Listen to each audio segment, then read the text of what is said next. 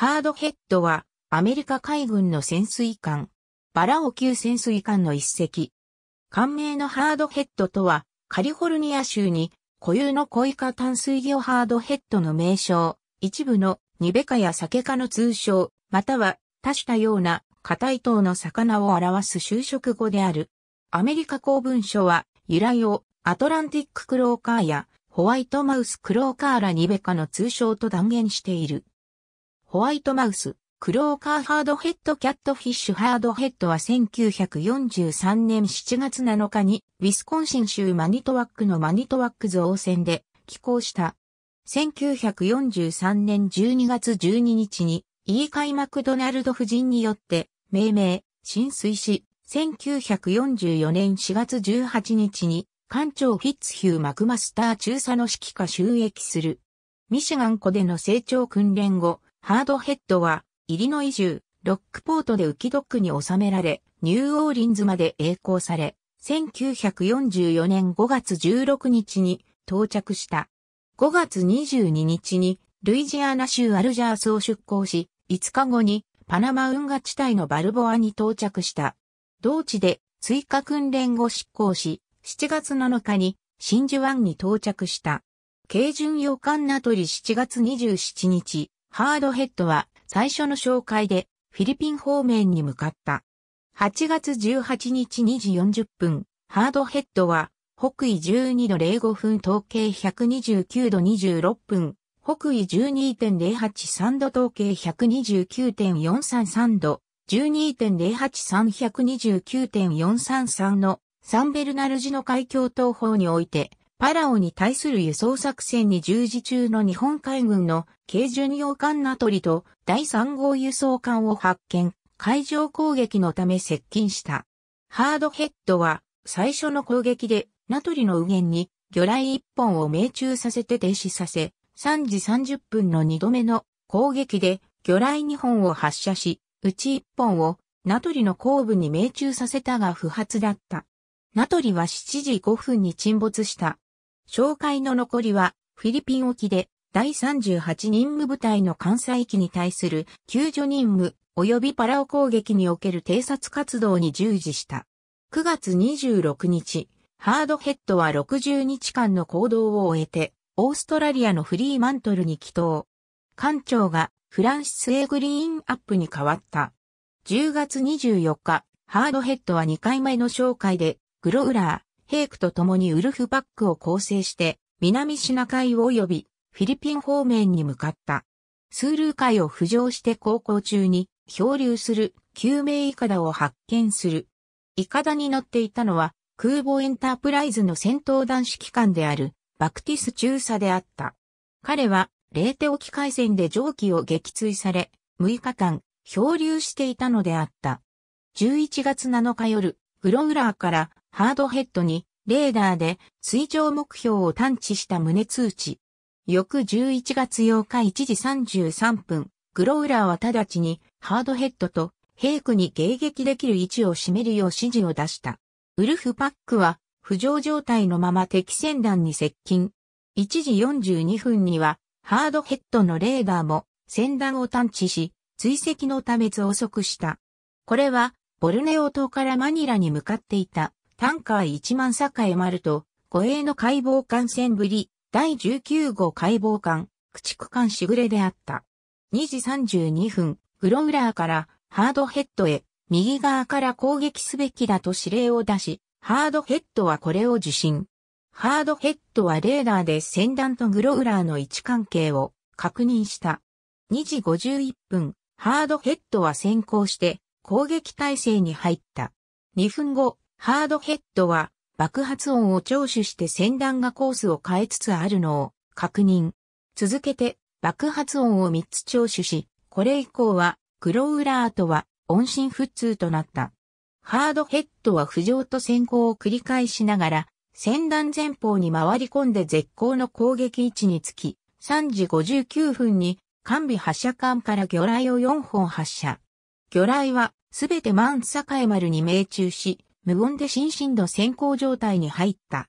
直後、11発に及ぶ爆雷攻撃があり、電球数個が破壊された。進路を巧みに変えつつ、爆雷攻撃をしのいだ、ハードヘッドは、14時55分に浮上。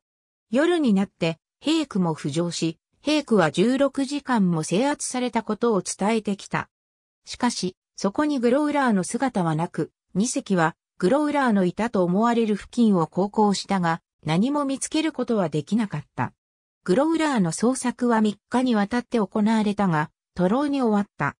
11月に入ると、ハードヘッドは、スービック湾沖で、第38任務部隊機に対する救助任務に従事。11月25日、ハードヘッドは、コレヒドール島沖で旧カテ艦マミヤと護衛艦4隻で構成されたサマ14未衛戦団を発見し、護衛の第38号解剖艦を撃沈。その後の反撃の爆雷攻撃を回避した。12月5日、ハードヘッドは45日間の行動を終えて、フリーマントルに帰投した。12月24日、ハードヘッドは3回目の紹介でベス後、ブラックフィンとウルフバックを構成し南シナ海に向かった。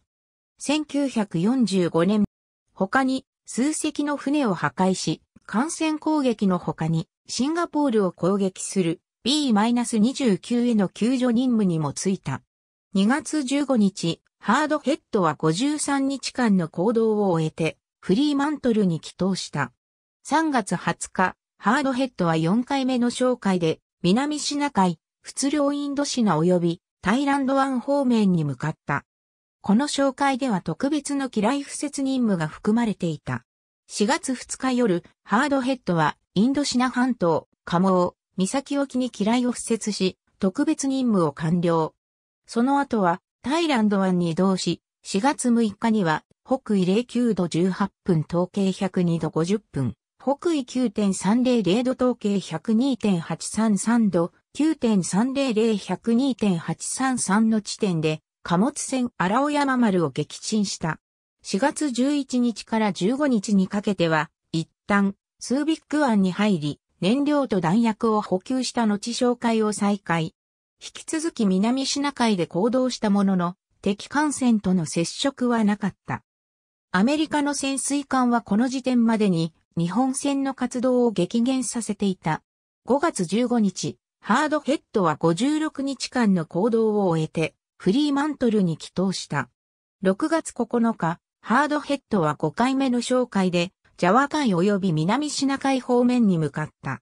6月22日に関西法で貨物船を破壊し、翌23日には南緯05度50分統計114度18分、南緯5.833度統計114.300度マイナス5.833-114.300のジャワ島北東沖で、ブルヘッドと共に第42号苦戦特務艇を撃沈、反撃を行ってきた第113号苦戦特務艇と交通船交渉第833号も撃沈した。しかし、グリーンアップ艦長の体調不良のため、ハードヘッドは紹介の中止を余儀なくされた。7月16日、ハードヘッドは33日間の行動を終えて、オーストラリアのオンズローに帰投。グリーンアップ艦長は退官し、後任艦長にはジョン・エル・ハインズがついた。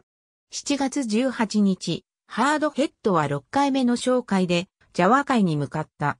7月23日、ハードヘッドは、南緯08度10分東経115度29分、南緯8.167度東経115.483度、マイナス8.167-115.483の地点で第117号苦戦特無艇を撃沈。